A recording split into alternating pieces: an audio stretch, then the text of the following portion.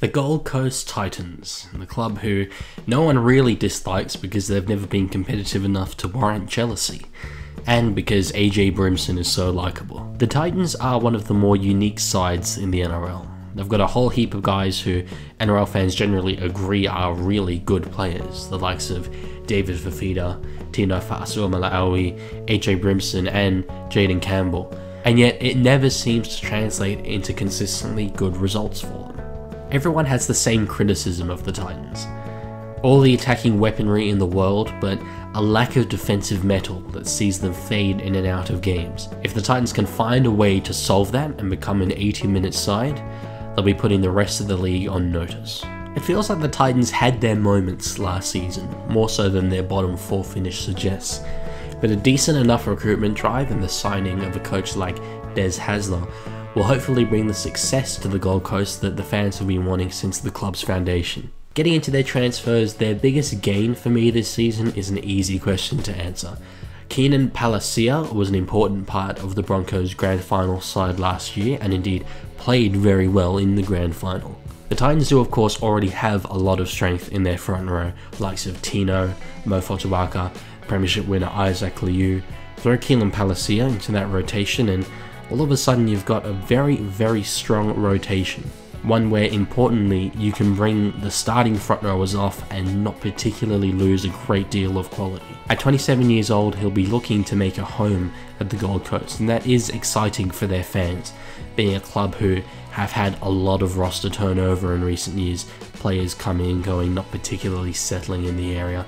I do have confidence that Palasia coming over from Brisbane, obviously a very short distance away, won't struggle in that regard. The biggest loss for me would be Kruise Leeming, and he's a he's a decent player. He was good for the Titans, but to me that's more of a sign that they're not losing a great deal of quality and won't particularly slide back as a squad. Obviously, Kruise Leeming is a hooker. The Titans already have Sam Verrills, Chris Randall, even Erin Clark could play in that role. So that's not a loss that the Titans will particularly be feeling. Speaking of some of those young guns though, we've got my first major talking point, which is how do you fit all of these spine members into one side? Obviously, guys that are in contention for those spine spots in fullback, you've got the likes of AJ Brimson, Jayden Campbell, Keano Kini. In the halves, you've got Tanner Boyd, Kieran Foran, Tom Weaver, Hooker, Chris Randall, Sam Verrills.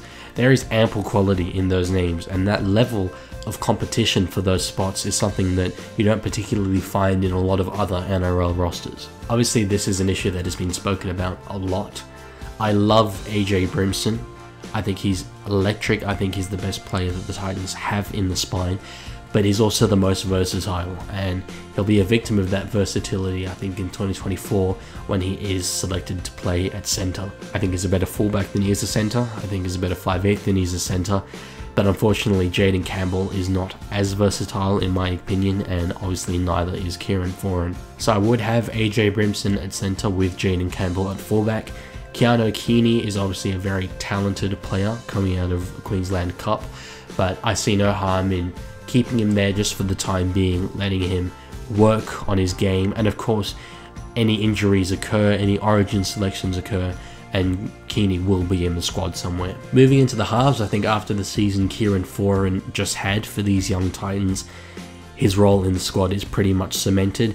It then becomes a shootout for the halfback jersey between Tanner Boyd and Tom Weaver both Australian schoolboys halves. Boyd has shown over his career the versatility required to play jersey 14, but I think that's a bit tough on him personally.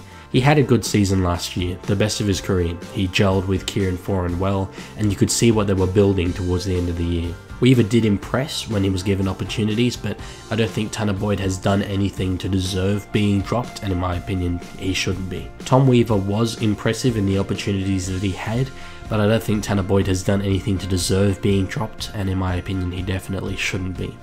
So I would have Tanner Boyd and Kieran Foran in the halves. Now for me it's also an easy decision to have Sam Verrills playing hooker. He's one of the only premiership winners in this Gold Coast side. He is a very good hooker. who's just been plagued by injuries that has stunted his development. If he stays on the field, I really think people's perception of Sam will go up quite significantly this season. And that then leaves me with Chris Randall, who I'll be putting in the number 14 jumper. Obviously, he is a very, very capable hooker, but we saw towards the back end of last year him coming on as an impact middle forward, and he was very, very good in that role. So just that versatility means that, to me, he's best suited in that 14 jumper. And Des Hasler can see how the game is playing out, see if he can leave Sam out there and bring Chris Randall on for a little more impact through the middle. On to talking point number two though, and I've got how does Beau Fermor go?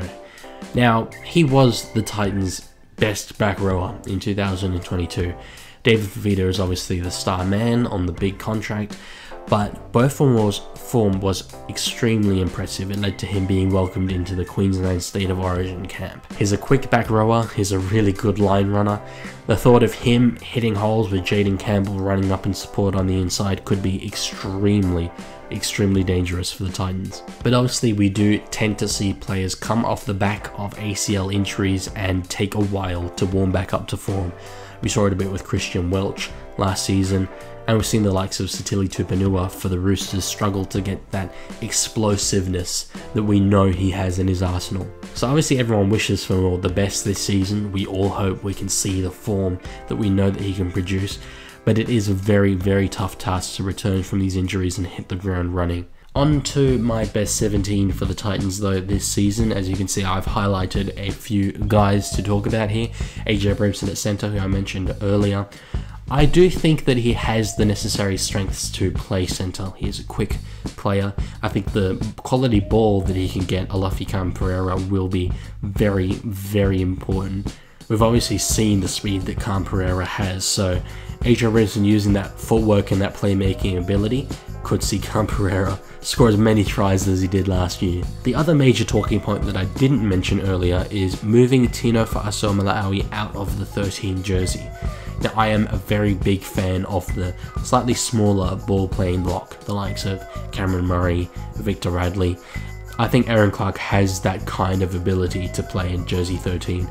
Obviously, Tino Fa'asuamaleaui does have that ball playing skill, but I just think his form in front row for the Kangaroos at the end of last season was fantastic. And I think that's probably where he's at his most damaging, where he's thinking run first rather than get the ball to the weapons around him.